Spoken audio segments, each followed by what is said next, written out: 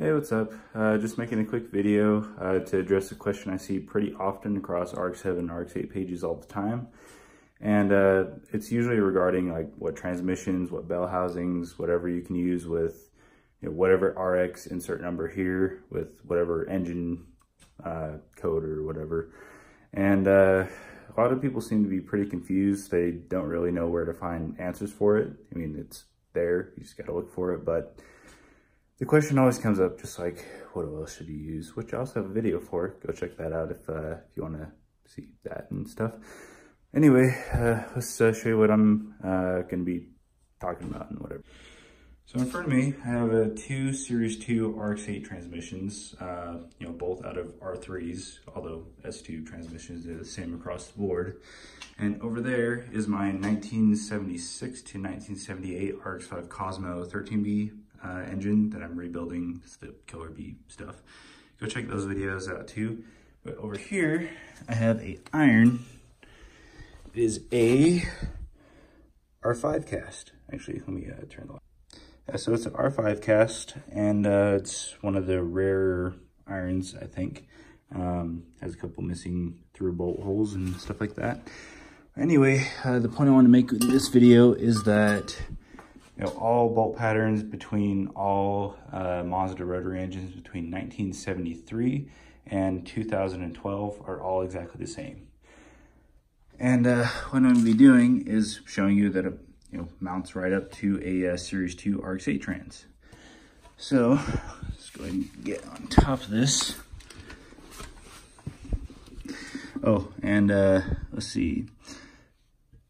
So all, uh, even though the bolt pattern is all exactly the same, uh, there might be some differences, like on the uh, on the Renesis, I believe, where this little dowel hole thing is, uh, there is no uh, threads in it, so you can't put a uh, you know bolt through it, even though there is a space for it right there. Mount the dowels.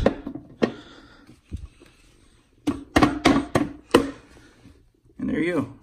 Uh, 76 to 78 uh, RX5 uh, rear iron mounted to a uh, Series 2 trans. And of course, the bolts are pretty much all the same. Let's see. And uh, now another question rises up. Can I use whatever flywheel with whatever clutch and you know whatever? And there are differences between models, uh, but it's, I'll show you over here. Okay, so this will make it a little bit easier to uh, describe things. So these are the, the main two types of different flywheels uh, between uh, different RX-7 models. You have an NA flywheel, which is the uh, smaller uh, clutch disc, smaller flywheel diameter. And then you have the turbo slash RX-8 uh, flywheel, which is just lar larger diameter. So found in the uh, Turbo 2 FC, the uh, Turbo, oh, of course, Turbo uh, FD, and uh, RX-8s. You know, it's all the same dimensions and stuff like that. Uh, the only difference in clutches and stuff like that would be with the FD with the pull type. But um, so you can convert those to the regular push type and stuff like that. But that that's something else. I'm not going to talk too much about that. But um, yeah, depending on what trans or whatever bell housing you're using, that will determine which uh, which flywheel you should use and which clutch kit you should use.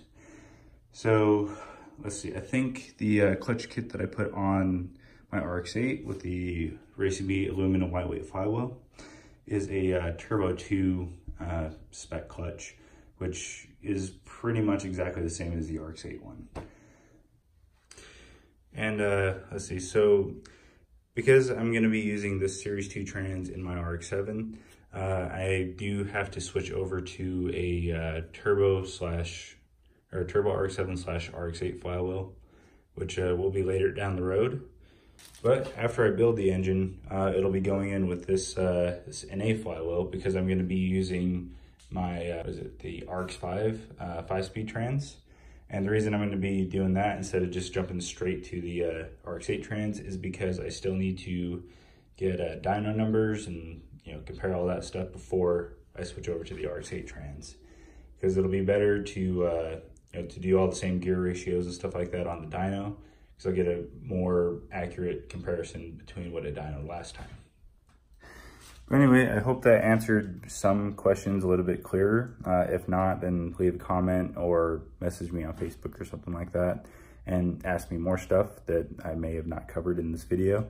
But bottom line, to summarize, uh, if you're using you know X transmission, then you should use the compatible flywheel for that uh, bell housing or transmission. Because like on the uh, Series 2 RX-8 trans, the bell housing is not removable. As you can see here, it's all one solid piece.